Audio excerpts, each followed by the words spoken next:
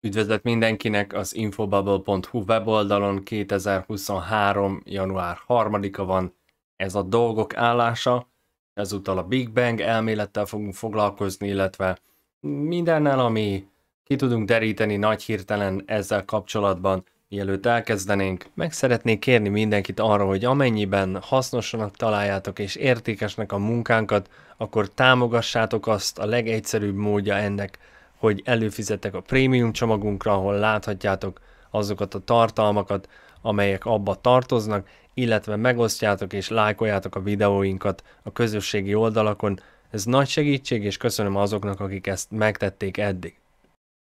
Biztos vagyok abban, hogy mindenki találkozott már a Big Bang vagy az ősrobbanás elmélettel ilyen vagy olyan módon. Azt szeretném ezúttal valamilyen módon illusztrálni, hogy honnan is származik ez az elmélet, és mi is ennek a jelentősége a mi életünkre nézvést, de elsősorban azt, hogy ez egyáltalán nem egy újdonság, ez nem a technika fejlődésének köszönhető, ez az elmélet, és ez egy igenis ördögi gondolat, hogy minden a semmiből fejlődött ki még akkor is, hogyha nincsen egyetértés arra nézvést, hogy mi is az ősrobbanás elmélet, és mi annak a fő jellemzői, nyilván vannak ebben is különböző verziók. Nézzük, hogy a warbletoncouncil.org weboldal, ahol mi el fogjuk ezt kezdeni, mit ír. Big Bang elmélet, jellemzők, szakaszok, bizonyító problémák. Röviden az egész univerzum eredetileg hihetetlenül forró és sűrű állapotban volt, majd hirtelen kitágult, miközben lassan lehűlt, és ez a terjeszkedés ma is folytatódik. Az ősrobbanás az nem magyarázza meg, hogy hogyan keletkezett ez az eredeti szingularitás vagy állapot, legkevésbé sem az, ami előtte létezett. Szóval az sem, hogy mi az, ami előtte létezett azt magyarázza, hogy mi történt az univerzummal az első napokban, mikor megszűnt ez a szingularitás, vagy egység. Tudósok becslése szerint ez 13,8 milliárd évvel ezelőtt történt, és nem lehet tudni, hogy mi történt azelőtt, mivel az idő a térrel és az anyaggal együtt éppen abban a pillanatban jött létre. Most rávilágítanék arra a tényre, hogy ez megegyezik a bibliai teremtés történetével, az írások is ugyanígy magyarázzák, hogy a semmiből keletkezett a világunk, csak a Big Bang elmélet az kihagyja ugye a teremtő közreműködését, az, hogy ezt egy intelligencia hozta létre, és ez nem a semmiből alakult ki véletlenszerűen, és úgy lett minden, hanem az egész egy tervezésnek az eredménye, ami nyilvánvalóan óriási különbség. De menjünk tovább, ez csillagászat.hu, új részletek arról, mi történhetett az ősrobbanás első mikromásodpercében. 13,8 milliárd évvel ezelőtt univerzumunk felfoghatatlanul sűrű és forró volt, majd hirtelen radikálisan kitágult, ezt a folyamatot hívják a kutatók ősrobbanásnak. Ez nyilván, vagy legalábbis számomra egy komikus elgondolás, hogy a semmiből lett minden, ez egy pontszerű állapot, amiről beszélnek, a szingularitás, az a lényege ennek, de el fogják ők is mondani, hogy gyakorlatilag a semmiből keletkezett minden. Gyors tágulás során először elemi részecskék, majd atomok jöttek létre, amelyek csillagokká álltak össze, ezek galaxisokat alkottak, és a Földön kifejlődött az élet. Értem, hogy ez egy összefoglaló, de azért lássuk be, hogy 13,8 milliárd évvel ezelőtt, hogy mi történt, és azt elmondani ilyen magabiztossággal, az egy igen szilárd bizonyítékrendszert kívánna meg. Bár ezt a folyamatot nagy vonalakban értjük, de azt, hogy az ősrobbanás első pillanataiban mi történt, még ma sem tudjuk pontosan. Nem tudjuk pontosan, de a Kopenhágai Egyetem kutatóinak új tanulmánya betekintést enged az ősrobbanás követő első milliómod másodperc történéseibe. Quark gluon plazma nevű anyagot tanulmányoztuk, mondják ők. Ez volt az egyetlen anyag, amely az ősrobbanás első mikromásodpercében létezett. Jó, szóval vissza fogunk menni 13,8 milliárd évet egy apró ugrással, és elmagyarázzuk, hogy ez a quark gluon plazma az, ami létezett, ez volt az egyetlen anyag, és honnan tudjuk, hogy ez volt az egyetlen anyag. Persze mondhatnánk, hogy kikísérleteztük. Jó, kikísérleteztük, és akkor mi a bizonyíték arra, hogy 30 év múlva nem fognak előállni azzal, hogy na, mégse ez volt az, hanem volt egy másik, ami ilyenebb volt, meg olyanabb volt, csak akkor rosszul láttuk. Ez nem az első lenne a tudomány története során, amikor mellé fognak, vagy nem találnak el valamit. A tudomány története tele van ilyen ökörségekkel, mint ez. És szerintem, ami történik az az, hogy csak egyre kifinomultabb módszereket dolgoznak ki arra, hogy megmagyarázzák az ökörséget. Nem feltétlenül arról van szó, hogy ez így van, vagy úgy van, ezek matematikai alapú számítások, amik, vagy hát nyilván, de ezen alapszik az egész tudomány, de legalábbis az űrkutatásnak egy jelentős része. Szóval kiszámolni ki lehet valamit papíron, de az nem azt jelenti, hogy a valóságban az úgy van. És amennyire én értem, ezen áll vagy bukik az elméleteknek egy jelentős része. Addi, a matematika nyelvén, illetve a matematikai eszközökkel lehet bizonyítani ezeket a dolgokat, de az nem azt jelenti, hogy a valóságban ezeket meg lehet valósítani, illetve csak egyáltalán létrejönnek, vagy létrejöhetnek. Folytatják, hogy eredményeink egyedülálló történetet mesélnek el arról, hogy a plazma hogyan fejlődött az univerzum korai szakaszában, ami persze egy elmélet olyan értelemben, hogy ez egy valós elmélet. Ezt nem tudja bebizonyítani senki, hogy 14 milliárd évvel ezelőtt ez így történt, ahogy ők ezt mondják. Először a kvarkokból és gluonokból álló plazma jött létre az univerzum kezdetén, a tágulás során, ahogy a hőmérséklet csökkent, a kvarkok darabjai úgynevezett hadronok álltak össze, három kvarkos hadron egyik változata a proton, amely az atommag része, ezek az atommagok alapkövei a körülötten levő világnak. Valószínűleg ezzel az ábával is találkozott már mindenki, ilyen apró ugrásokkal visszamegyünk 13,7 eh, milliárd évet az időben, és megmagyarázzuk, hogy ez pontosan így volt. Miközben ez kultúrakollektíva.com, ahol a tudomány legalábbis szerintük 10 érdekes tévedésével foglalkoznak. Newton például mindenki ismeri a fizikával kapcsolatos munkásságával. De az elsődleges gondja valója, valóban a legendás bölcsek kövének a felkutatása volt, ami egy megfelelően ami egy alkimiai feladat. Az alkimisták, mint Newton, úgy vélték, hogy létezik egy anyag, ez a bölcsek köve, amely képes az alapfémeket, például a higanyt, aranyjá alakítani. Ennek az anyagnak kellett volna ugye megtalálni ezt az anyagot a halhatatlanság eléréséhez. Bár mennyire is őrülten hangzik. Az alkimia Tanulmányai nem sokkal Newton kora után megnyitották az utat a megfelelő kémia tudomány felé. Flawless victory. ScienceHistory.org ugyan ezt árulja el nekünk. Lawrence Principe, ő az egyik legismertebb alkémia kutató a világon, aki PhD-ja van kémiából, a második PhD-ja pedig kémia tudományból, és írt egy könyvet az Alkémia titkai címmel, azt mondja, hogy az alkímia tele van titkokkal. Mindazonáltal az elmúlt generáció során a tudósok egyre többet tártak fel meglepő tartalmáról és fontosságáról. Többé nem vetik el időpocsékolásként, vagy bolond küldetésként, az alkímiát ma már egyre inkább a kémia örökségének alapvető részeként ismerik el. A természeti világ feltárására ellenőrzésére és felhasználására irányuló folyamatos emberi kísérletek során. Az alkimisták gyakorlati ismereteket fejlesztettek ki az anyagról, valamint kifinomult elméleteket dolgoztak ki annak rejtett természetéről és átalakulásairól. Menjünk tovább időben, és mindenki meg fogja érteni szerintem, hogy mi az, ahova ki akarok lyukadni. Folytatja reményük, hogy felfedezik a bölcsek kövének elkészítésének titkát. Egy olyan anyagot, amely állítólag képes a nem nemes fémeket aranyjá alakítani. Erőteljes ösztönzést jelentett ez törekvéseikben. ugyanakkor hozzájárultak a bányászathoz, a kohászathoz, a gyógyszerészethez és az orvostudományhoz eredményeik és törekvéseink kudarcaik a művészetek, művészeket, drámaírókat, költőket inspirálták. Kutatásaiknak és céloknak egyaránt voltak kereskedelmi és tudományos, valamint filozófiai és teológiai vonatkozásai. Finish him! Ami történt, az egyszerű.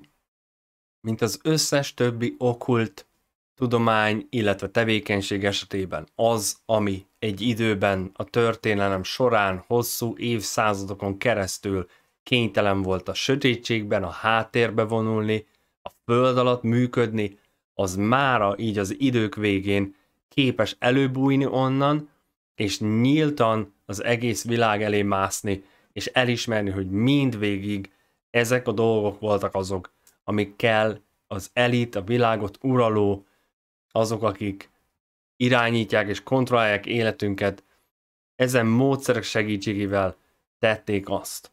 Mindaz, ami a háttérbe vonult eddig, az mostanra már előlépett ide a nagy színpadra, hisz már mindegy. Elmondják nekünk, mert tudják, hogy már mindegy. Sok alkimista írják, kifejezte, gyakran csak burkoltan, erős bizalmát az ember képességében, hogy utánozza és javítsa a természetet. Már akkor is ez volt a céljuk, több száz évvel ezelőtt. A cél mindig ugyanaz volt. Felejtsük el azt, hogy akartak találni egy követ, aminek segítségével az aranyá változtatták a nemesfémet, és tudták, hogy ilyen nincs. Amit szerettek volna, az az örök élet. Ennek a metaforája ez az egész tevékenység. Az örök élet az, amit szerettek volna. Átalakítani a fémet, ami az ember aranyá, ami egy örök életű lény lenne. Ez az, amit szerettek volna.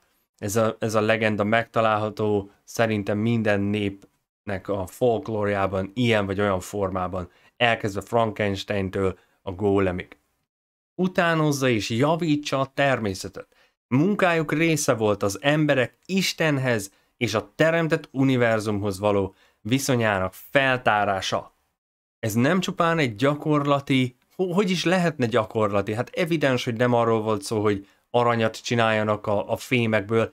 Ez, az, ez egy teológiai, filozófiai és életvitel, életfelfogás, rendszer. Ez több annál, mint hogy néhány őrült kémcsövekkel kísérletezik a sötét szobájában, és próbál aranyat előállítani. Ez egy filozófiai irányzat, ami a kezdetektől fogva létezik. Hogyan lehet a természet és a teremtő megkerülésével érni azt, hogy az ember visszakerüljön oda, ahonnan származik, örök élete legyen. Annyira materialista gondolkodású a többség, hogy el sem tudja képzelni, hogy más nem így gondolkodik, főként nem azt, hogy a világot uraló és irányító elitnek van egy életfelfogása, illetve egy hozzáállása az élethez, ami egy igen kifinomult filozófiai rendszer ráadásul. A tudománytörténészek munkája továbbra is feltárja az alkímia óriási összetettségét és sokszínűségét, fontos szerepét az emberiség történelmében és kultúrájában, valamint folytonosságát azzal, amit ma kémiának nevezünk. Flawless victory. Hát akkor nem úgy van, mindvégig úgy volt, ahogy mondtam, ezek a dolgok, amiket ma tudománynak hívunk, ezek régen mágia kategóriába tartoztak. Ez most is az, csak egy más formája. Velünk elhitették, hogy ez valami nemes, és megcáfolhatatlan bizonyítékrendszeren alapuló disziplina együttes, de ez nem így van egyáltalán. Ezek olyan ismeretek, olyan tudás, amit nekünk nem lett volna szabad megismernünk. Erre utal a legendás történet, amit mindenki ismer Pandoráról, illetve az ő szelencéjéről. Megtanították ezeket a dolgokat nekünk általános iskolában, meg középiskolában, a történelemben, csak azt mondták, hogy ez mind mítosz, legenda, ez nem a valóság, ezek kitalálmányok, miközben mindvégig ez volt az igazság. Nem azt akarom mondani, hogy létezett Pandora, aki kinyitotta ezt a szelencét, hanem visszautalok megint a teremtés történetre, ugyanis azzal, ami történt az úgynevezett bűneset vagy bűnbeesés történetben, illetve sztoriban, az pontosan ez a mítosz, ami mi úgy ismerünk, hogy ez egy mítosz. Feldolgozta ezt minden nép a történelem során, míg mára ez átalakult Transformersé, meg az igazság ligájává, Supermanné, mit tudom én mivé. De ugyanazt a történetet dolgozzuk fel, ami nem más, mint a teremtés, bűnbeesés és a bibliai események különböző formában, korokban, nézőpontból. Amit kerestek az alkimisták, az az örök életnek a titka. Ezek közé tartozott Newton is, az alkimisták közé. És én megint csak azt javaslom mindenkinek, hogy lépen egy lépést hátra, és felejtse el azt, hogy ezek az emberek őrültek voltak, kémcsövekkel kísérleteztek. Ez egy filozófiai irányzat, ami arra törekedett, hogy az élet nagy kérdéseire gyakorlati választ adjon. A legnagyobb kérdés pedig ezek közül a gyakorlati kérdések közül. Az örök életnek a titka. Tisztában voltak azzal, hogy mi az ember sorsa, hogy létezik egy teremtő, hogy a Biblia igaz, mindaz, ami le van írva, az az igazság. Csak ez egy fonák hozzáállás, amit az ellenség kialakított magának, egy ilyen hitrendszert, egy vallást, ami a háttérből a világot irányítja, és kiválasztja magának azokat, akikkel a leghatékonyabban tudja félrevezetni az emberiséget. Nyilván ők az örök életben reménykednek, hogy megszerzik azt, az ellenség meg tisztában van azzal, hogy ez lehetetlen a teremtő megkerülésével, ez az igazi ajánlat, amit ő tesz nekik, hogy képesek lesznek mégis ezt megtenni, hogyha szövetkeznek vele. Azt gondolja bárki, hogy oh, ez csak mese, meg filmekben van ilyen, nem, ez a valóság. Lassan kiderül mindenről, hogy mindvégig a valóság volt, amiről mesének gondoltuk. Azt hittük, hogy a képzelet szüleménye, meg ostoba emberek találták ki, miközben mindvégig ez volt a valóság. Visszatérünk ehhez a könyvhöz egy pillanatra, ugye ez az alkímia titka. Én azt szeretném demonstrálni ezzel, hogy amit ma úgy ismerünk, hogy tudomány, különösen a természettudomány, annak a gyökerei az visszavezet egy olyan tudáshoz, amit nekünk nem feltétlenül kellett volna megszereznünk, mivel ha megszerezzük, utána azzal úgy kell élni felelősséggel, amire szerintem az ember nem képes. És ezt láthatjuk most magunk körül az összeomló világban, hogy a technológiai fejlődés az nem feltétlenül jár együtt azzal, hogy az életünk nagyszerűbb lesz, vagy az egész föld élete nagyszerűbb lesz, és jobban el fogjuk tudni látni a feladatunkat. Egyértelműen demonstráltuk, hogy az emberiség nem képes ezeknek az erőknek ellenállni, egyrészt a spirituálisnak, ami a háttérből mozgatja a szálakat, másrészt azzal az erővel, hatalommal, ami együtt jár a növekvő tudással. Az alkímia, de, de leírja egyértelműen most ebben a következő részben, ugye az alkímia titkaiban, hogy mi is a, burkoltan tulajdonképpen, amiről mindvégig én beszéltem. Az alkímia titkai, azt is megmutatja a könyv, hogyan lehet megfejteni olykor a kémiai kísérletezés lenyűgöző bravúrjával a kód és metafora frusztrálóan homályos titkos nyelvét, amelyet rutinszerűen használnak tudásuk és reményeik elrejtésére az alkimisták, és akár reprodukálhatóan egy modern laboratóriumban. Létezik tehát egy titkos nyelv, amivel szerették volna elrejteni a tudást. Ez a titkos nyelv, én nekem meggyőződésem, hogy amit úgy ismerünk, hogy tudomány. Vannak a tudománynak beavatottjai, és vannak még beavatottjaibbak, és egyre följebb haladunk. Azok, akiket úgy ismerünk, hogy tudósok, szakemberek, matematikusok, stb., ezek bizonyos részben beavatottak ebbe az alkímiába, de nem értik, hogy mi is az, amin dolgoznak valójában, mert nincs meg ez a titkos nyelv ismerete számukra. Ahogy haladunk feljebb és feljebb ezen a képzeletbeli hierarchia lépcsőn, úgy egyre nagyobb ismerettel rendelkeznek majd az emberek, és, és bele tudják helyezni kontextusba azt, amit értenek arról, amit úgy ismerünk, hogy tudomány. Most ezek után menjünk vissza ide ehhez a Big Banghez, hogy értjük, hogy a tudomány hogyan is fejlődött ki az évezredek során, és mi is az, ami emögött áll. Próbáljuk ezzel a szemmel figyelni az eseményeket, amik zajlanak a világban, és ebből a perspektívából látni a helyzetet, ami körülöttünk zajlik. Mindig, amiről beszélnek, amit elmondanak nekünk, persze az a felszínen ezt a 13,8 milliárd évet jelenti, meg a kvarkokat, meg ezeket az ökörségeket, de valójában elrejt egy valóságot a szemünk előtt, mert nem ismerjük a nyelvet, nem tudjuk lefordítani. Ez az, amire én vállalkoztam az évek során, hogy megpróbáljam lefordítani, hogy mi is az, amit valóban jelentenek ezek a dolgok. Létezik egy titkos nyelv, amit mi nem ismerünk, és ez a tudománynak a nyelve, az okkultnak a nyelve. Még egyszer, nem arról van szó, hogy minden tudós, okkultista, meg ilyen fanatikus, aki gyerekeket eszik.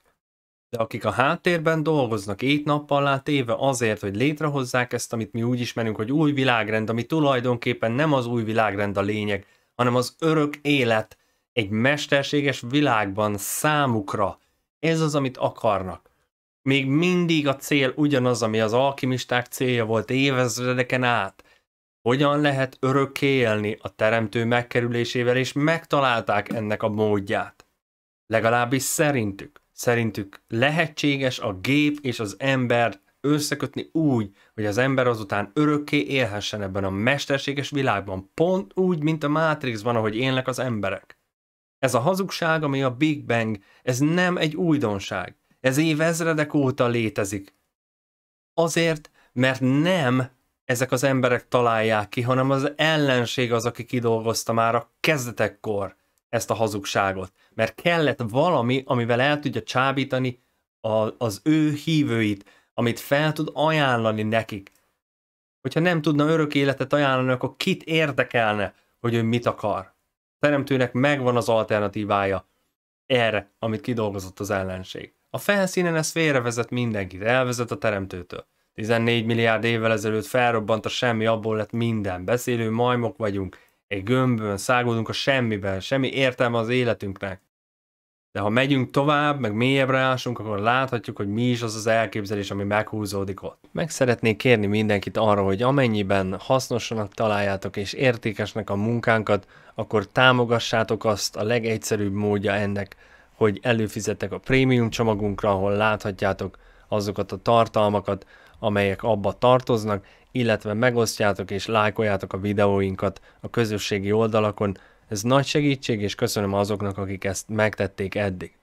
Mindig az a célt szolgálta, a tudomány azért jött létre, hogy igazolja ezt a hazugságot. Ez Sulinet, és írnak az ősrobbanásról, ami nagyszerűen demonstrálni fogja nekünk azt, amiről beszélek. A tudomány a hazugságot hivatott alátámasztani. Van egy narratíva, amit szeretnének, hogy mindenki értsen és aztán a tudományos feltételezések, meg felfedezések, meg elméletek épp véletlenül ezt támasztják alá. Itt van egy tökéletes példa erre.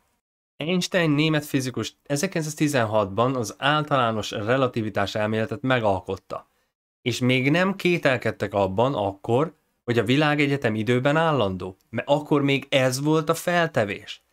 Ezért Einstein egyenleteinek egy olyan megoldását kereste, amely statikus világegyetemet ad megoldásul. Szóval volt olyan megoldása az egyenletnek, ami statikus világegyetemet ad megoldásul, meg volt olyan is, ami dinamikusat ad megoldásul. Ezt mondtam az előbb, hogy a matematikával be tudok bizonyítani akármit, hogy a döglött tehén alszik. Azért, mert kiszámítani ki lehet bármit papíron, de a valóság az egy másik dolog. Na 1922-ben, hat évvel később Alexander Friedman, orosz matematikus és légkörfizikus megállapította, hogy az Einstein-féle megoldáson kívül az egyenleteknek van egy másik megoldása is, amely táguló, illetve összehúzódó világegyetemet ír le. Hát akkor melyik az? A valóság nem lehet mindkettő, de egyenletben mind a kettőt be lehetett bizonyítani. Itt van a példa rá, erről beszéltem.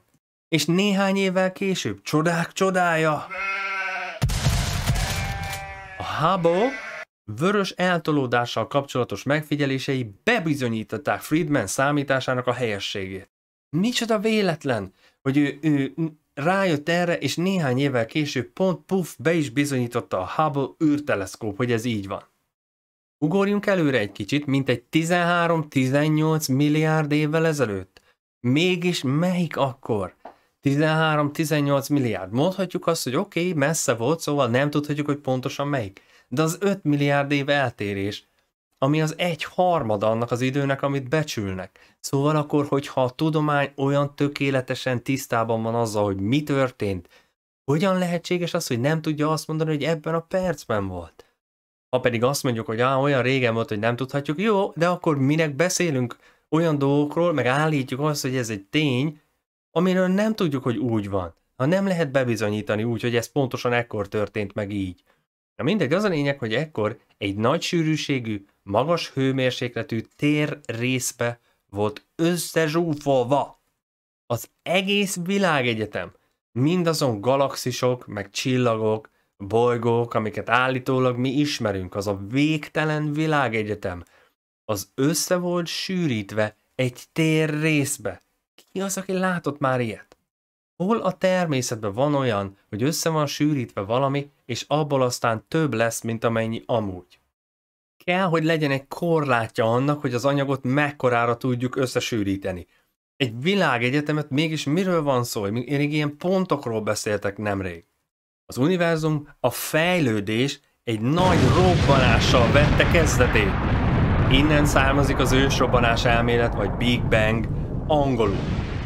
Kezdetben olyan formátumban lehetett jelen, amire nincsenek szemléletes fogalmaink. Nincsenek szemléletes fogalmaink egyáltalán. Nem tudjuk. Nyilvánvalóan végig hazudtuk az utolsó másfél-két évet. A robbanás követően elképzelhetetlenül rövid idő alatt kialakultak az anyagi világ jelenlegi építőköveinek tartott kvarkok, kvarkok, elektronok és ezek antirészecskéi, ezeket követte a nehéz nukleonok, proton, blablabla kialakulása. Természetesen vannak más elképzelések is a világegyetem keletkezésére, de a tudósok túlnyomó többsége elfogadja az ősrobbanásnak a hipotézisét.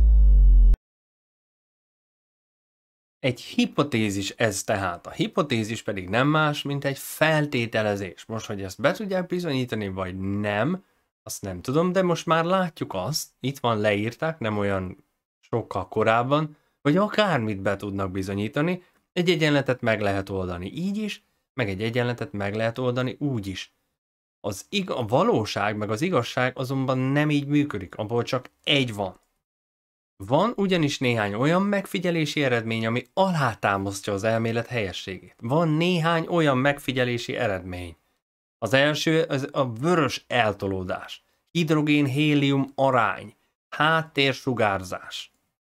Ez úgy tűnik valakinek, hogy ez biztos, hogy ez alapján ezer százalék, hogy ez így volt, ahogy ők ezt mondják nekünk? 1965-ben két amerikai, amerikai fizikus megállapította, hogy az univerzum minden irányából azonos erősségű rádiósugárzás érkezik a Földre. Ez a sugárzás 2,7 Kelvin hőmérsékletű fekete test hőmérsékleti sugárzásának felel meg. Ezek elméletek, érthető? Ez a fekete test, meg ezek a háttérsugárzás dolgok, ezek műszerek mérik, ezt soha nem látott, soha nem hallott valójában elemekről beszélnek, amiket matematikailag be lehet bizonyítani. Persze én értem, hogy veszik ezt a sugárzást, de hát gondolom lehet a száz másik dolog is. Ennek a sugárzásnak a meglétét az elmélet kidolgozásakor Gamov előre jelezte. Kimutatta, hogy a táguló világegyetemnek a kezdeti magas hőmérsékletéről mostanra néhány kelvinre kellett lehűlnie. Ezek a megfigyelések mind, mind beleillenek az ősrobbanás elméletbe. Más elméletek viszont, különösen a háttérsugárzást, nem tudják kielégítően magyarázni.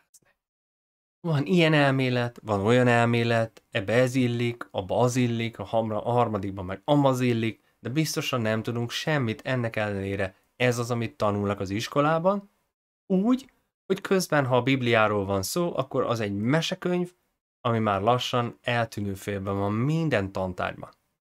A muisgyémán.hu weboldalon arról írnak, hogy van egy tudós csoport, egy tudós csoport, aki azt sugalja, hogy az univerzum eredetéről alkotott elképzeléseink tévesek lehetnek, az elméletüket azonban még nehéz lenne bizonyítani. Biztos sikerülni fog egy elmélettel, meg egy egyenlettel hamarosan. Az univerzum talán nem ősrobbanással, hanem egy nagy pattanással kezdődött. A Cambridge-i Egyetem asztrofizikusa szerint van esélye arra, hogy a jövőben bebizonyítsák az ősrobbanás elméletének téves mi voltát?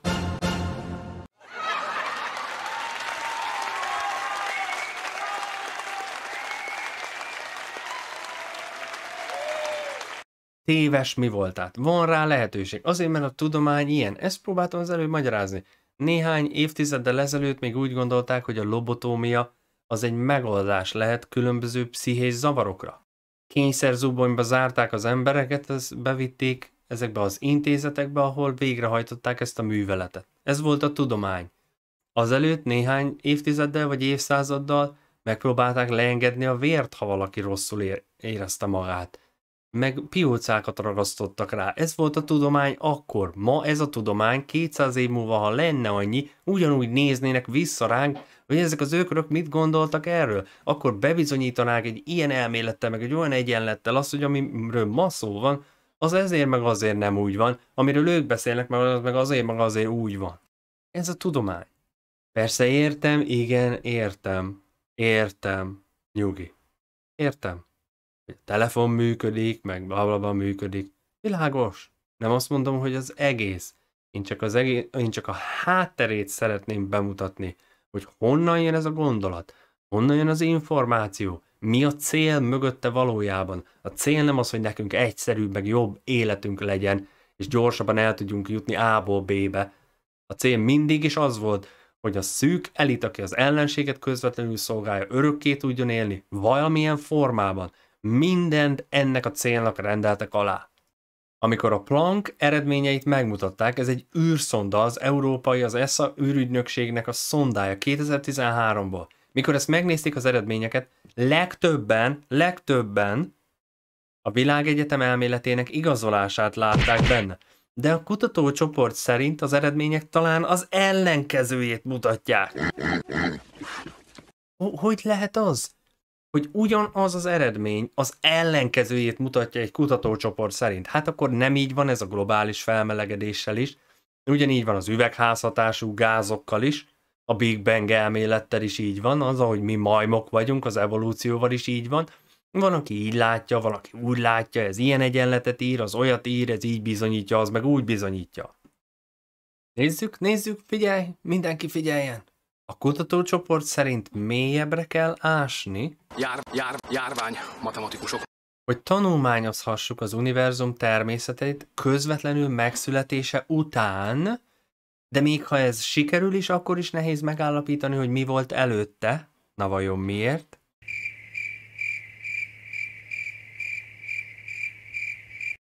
Azért, mert a kvantumgravitáció előrejelző elméletére van szükség, amivel nem rendelkezik az emberiség. Adám. Ez mégsem tántorította el a kutatókat, a javaslatuk szerint kozmikus graviton hátteret kell keresni, amely szabadon mozgó gravitonokból áll, és ezek a gravitonok a gravitációs kölcsönhatást közvetítő feltételezett elemi részecskék, de a létezését még nem sikerült kimutatni.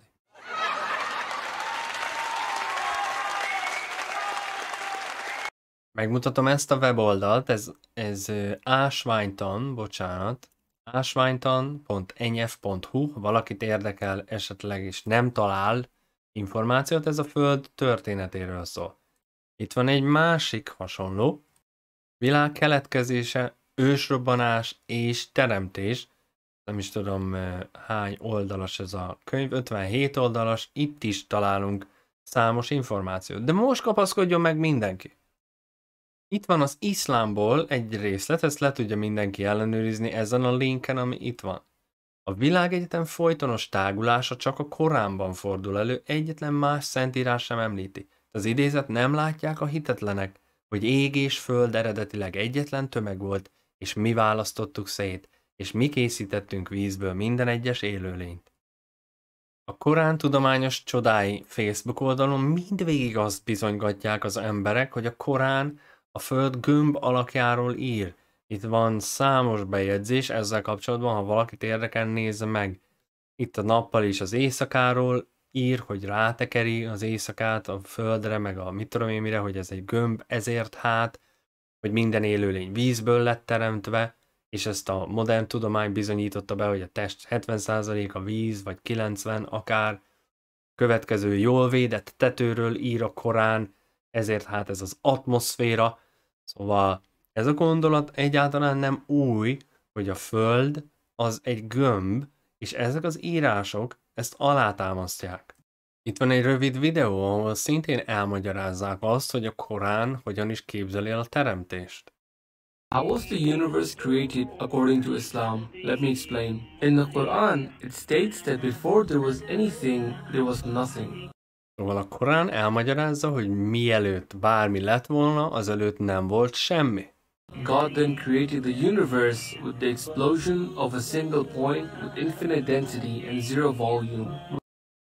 Ezután Allah vagy Isten megteremtette a világot egyetlen pontból, aminek végtelen volt a sűrűsége, a térfogata pedig nulla volt. Így teremtette meg Allah a világot. Szóval egy pontból teremtette meg a világot, aminek a sűrűsége végtelen volt, a térfogata pedig nulla. Which we now call the Big Bang. Ezt ma úgy hívjuk, hogy a Big Bang.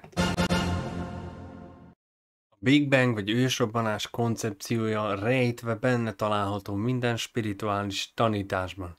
Így vagy úgy. A hinduizmus is úgy képzeli el, hogy a, a világ több milliárd évvel ezelőtt keletkezett.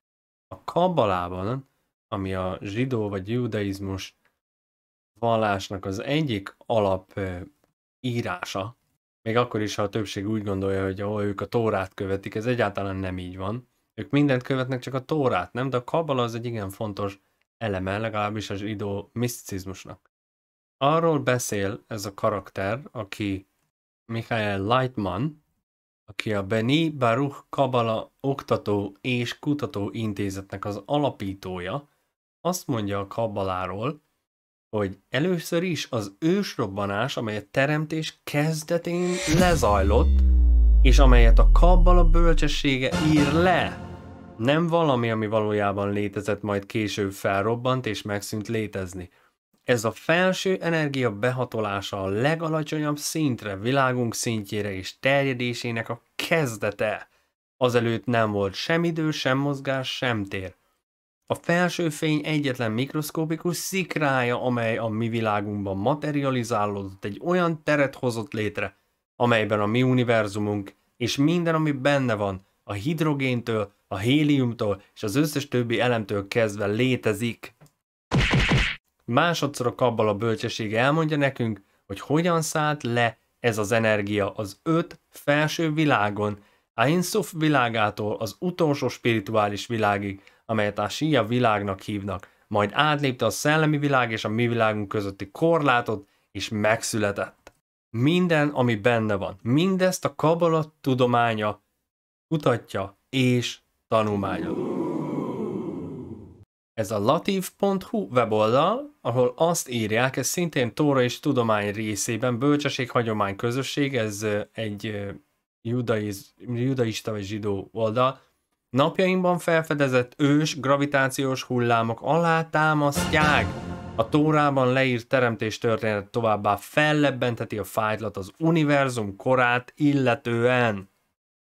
A tér fodrozódása tanúskodik az ősrobbanás bekövetkeztének idejéről, ez Dennis Overby fogalmazza meg a New York Times-ban, és folytatja aztán később, hogy a könyvében ő leírja ezt a Maimonidészi gondolkodásmódot.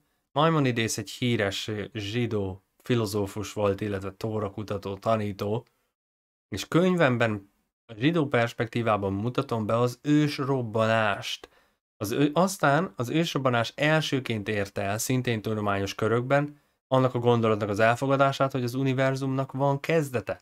Tehát addig ugye arisztotelészi gondolatvilág volt az uralkodó, miszerint az, az univerzum örök. Azonban végre ezzel elkezdődött az, hogy az univerzumnak van egy kezdete. A Héber Biblia első szava Bereshit kezdetben és az ősrobbanás elmélet legfontosabb újdonsága között van egy egyezés, nevezetesen az, hogy valóban volt kezdet. Könyvemben megpróbálok megoldást találni annak az időbeli eltérésnek a kérdésére, amely a tudomány és a zsidó források között mutatkozik. Az egyik közülük, hogy a modern fizika szerint térésidők kölcsönösen összefüggnek. Aztán taglalja, hogy miből alakul ki ez az eltérés, de a lényeg az, hogy ők is elfogadják a Big Bang elméletet. Ez Rabbi Joseph Bitton írta ezt, a, ezt az írást. Menjünk tovább. Ez képmás.hu. Big Bang, a pap, aki az ősrobbanást bizonyította. Mi van, ha az elmélet mégse állja meg a helyét tudományosan, és emiatt megkérdőjelezik a katolikus egyház összes tanítását? Ugye, hogy ő bizonyította az ex nihilo, vagy semmiből teremtést tudományosan. Tudományosan akarta bizonyítani azt, ami az írásokban van a teremtés történetnél. Szent Ágoston is azt mondta, hogy nem szabad hanyat homlok rohannunk, és visszavonhatatlanul az egyik értelmezés mellett letennünk a garast. Számításaim pedig jók. És biztos vagyok abban is, hogy az univerzum keletkezése visszavezethető egyetlen egy időpontra és egyetlen egy pillanatra is, mind matematikailag, mind pedig fizikai törvényszerűségek alapján. Két út vezet az igazsághoz, én úgy döntöttem, hogy mindkettőt követem, és számomra most már csak egy út létezik. Nos, nagyon úgy tűnik, hogy a világegyetemben távolodnak a bolygók, az égitestek, a csillagok, mutatott felfelé derülte barca George, vagy George, és a kozmikus sugárzás, valamint rádióaktív bomlás folyamata is ezt igazolja. Aztán hirtelen el- elkomorodott, levette szemüvegét, dörzsölte szemét. Hiába jelent meg a Brüsszeli Tudományos Társaság évkönyvében ez a tanulmányom, senki még csak annyit sem mondott, hogy olvasta volna. Georges Lemaitre a Löveni e- Katolikus Egyetemen szerzett mérnöki diplomát, majd az első világháború miatt félbeszakította tanulmányait. Harcolt a frontvonalon, majd Angliában Cambridge-en tanult, 1924-ben pedig a Massachusetts-i Műszaki Egyetemen PhD-t szerzett. Új kozmológiai elméletét 27-ben tette közzé ebben a tudományos iratban, folyóiratban, és ugyanebben az évben Einstein elutasította a híres, 1911 óta rendszeresen megszerezett, legrangosabb fizikusoknak tartott Solvay konferencia, vagy Solvay konferencián. Két évre rá ugyanakkor a Hubble mérései tökéletesen igazolták a világegyetem tágulásáról szóló elgondolását és 1931. február 3-án Einstein nyilvános sajtótájékoztató keretében ismerte el, hogy Lemaitre-nek igaza van, és ő tévedett. Einstein később úgy nyilatkozott Lemaitre munkásságáról a Californiai Institute of Technology megtartott előadását meghallgatva, hogy ez a teremtés leggyönyörűségesebb és legkielégítőbb magyarázata, amit valaha is hallottam. És ez a Lemaitre az első elméleti kozmológus volt, akit Nobel-díjra jelöltek 54-ben, majd két évvel később az ősatom elmélete alapján kémiai Nobel-díjra is jelölték, úgyhogy ez egy jezsuita katolikus ö, pap volt. Bár 1965-ben halt meg, azt még megérhette, hogy az újonnan felfedezett kozmikus mikrohullámú háttérsugárzással az ősrobbanás elméletet egy újabb megfigyeléssel igazolhatták.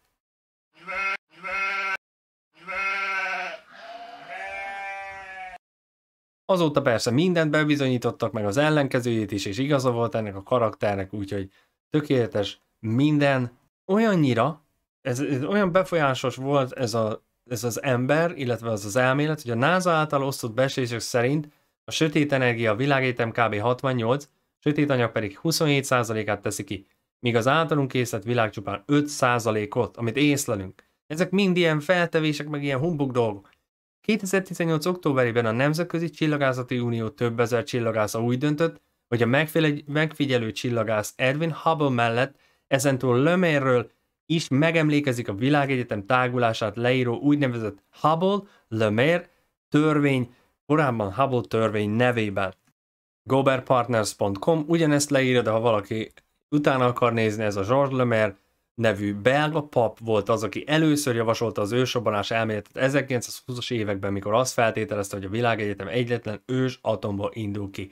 Szóval innen származik az ősrobbanások, a Big Bang, meg ezek a dolgok. Mindvégig volt ennek az egésznek egy spirituális háttér, és itt a bizonyíték, tessék, eljutottunk onnan, ahol elkezdtük ezt az egészet, és itt vagyunk.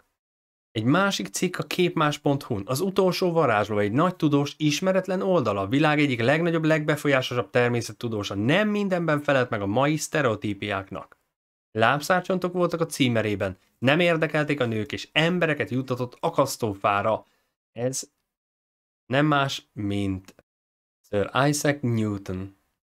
A tudományos tevékenység a korszakra jellemző módon őt sem akadályozta meg abban, hogy higgyen az okkultizmusban, az asztrológiában és más mágikus tanokban.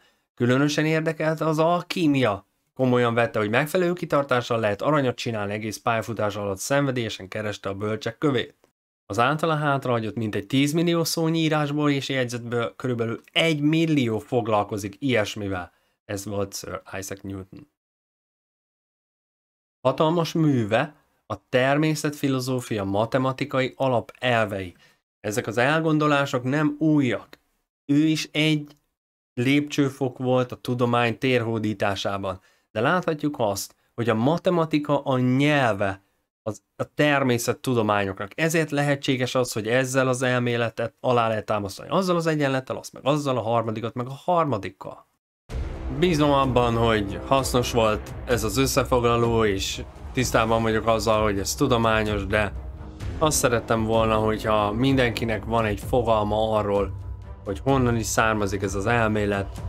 De nem csak ez, hanem lényegében az a vallás, ami az egész életünket most már meghatározza, és amelynek a hitelvei, a dogmái, a papjai, a profétái, a szentjei, azok behatolnak mindenkinek az otthonába, az elméjébe, és folyamatosan változtatják és módosítják a világnézetét szinte mindenkinek most már.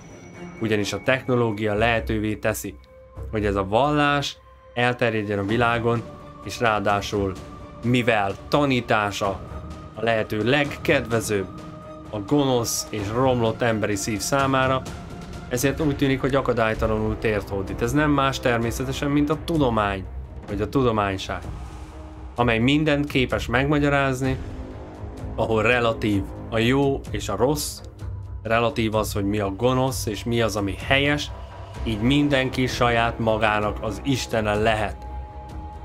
Hogyha ezt valaki felfedezi, megérti, akkor talán képes lesz arra, hogy innen elinduljon és megtalálja a helyes úton az igazságot, ami pedig nem más, mint hogy a teremtő szeretné, hogyha megértenénk a világot, és rájönnénk arra, hogy ez egyáltalán nem bonyolult.